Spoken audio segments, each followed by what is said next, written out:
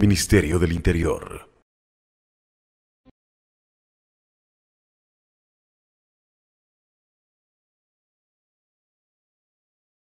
El 6 de octubre, cuando yo me hice cargo de la zona, nosotros teníamos un incremento del 25% de delitos, eh, situación que implicó mucho compromiso y un reto para que en tres meses nosotros logramos reducir esos delitos y empezar en el mes de enero ya con una reducción del delito para de ahí fortalecer cada uno de los territorios y disminuir los delitos que se iban presentando de mayor connotación en los respectivos sectores se hizo un trabajo muy fuerte con todos los comandantes de distrito, con los policías, un cambio de estrategias eh, totalmente más un trabajo hacia la comunidad, con la comunidad y en territorio, focalizando cada espacio y cada territorio que requería esta atención.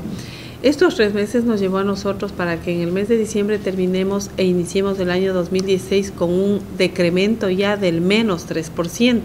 Es decir, habíamos hecho una reducción de casi el 28% desde que nos hicimos cargo en los tres meses. Cumplimos la meta de, homicidios que estaba en riesgo, la cumplimos. Hoy por hoy eh, la zona 8 tiene una reducción del 17% a la fecha y 1.900 delitos menos que el año anterior. Todo nuestro cuadro de mando integral está trabajando de manera efectiva.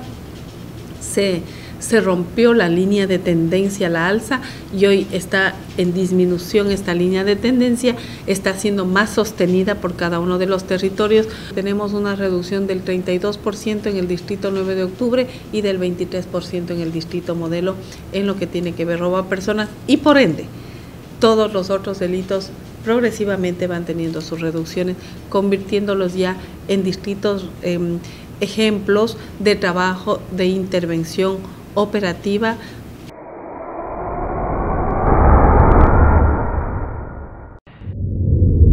Ministerio del Interior.